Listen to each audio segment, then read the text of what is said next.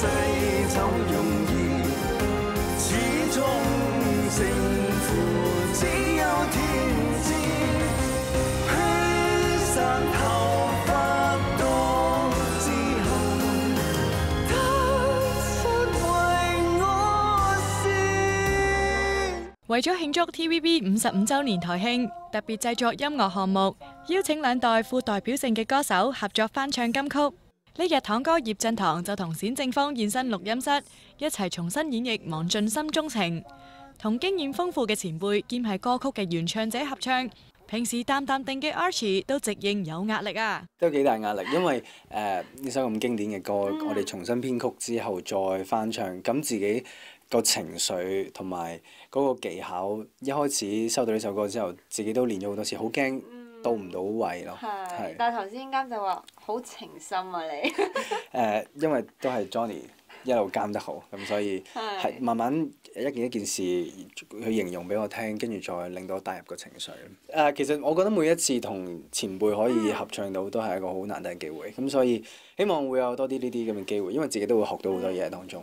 近年唔少歌手都翻唱舊歌，堂哥多年嚟唱出無數經典金曲，唔知邊一首係佢心目中金曲中嘅金曲呢？其實 TVB 我唱咗個主題曲都係好多套嘅，但係你講最最中意都係《望盡心中情》蘇慧儀啊，同埋我初初聽到呢呢個新嘅音樂嗰陣，我覺得好即係好現代感咯。我有一幅圖畫嘅，我聽誒、呃、舊嗰啲音樂咧就係蘇慧儀啦，發哥嚇。聽新嗰個音樂咧，我發覺發覺啊係係另外一個畫面嘅，就係、啊發哥賭神啊，現代啲啊。正喎，到到時咧係咪要呢個碌嚟演出先？係咪要呢個碌先？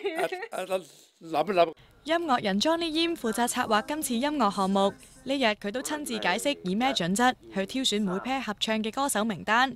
佢仲話今次整個項目對自己嚟講係一個大挑戰添噃。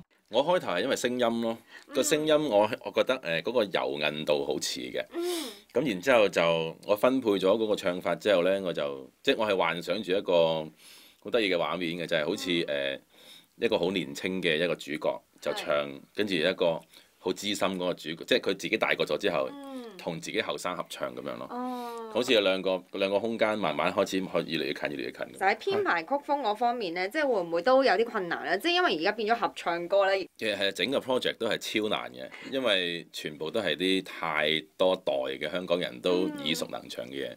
咁我唯有完全唔拍戲咯，拆晒佢。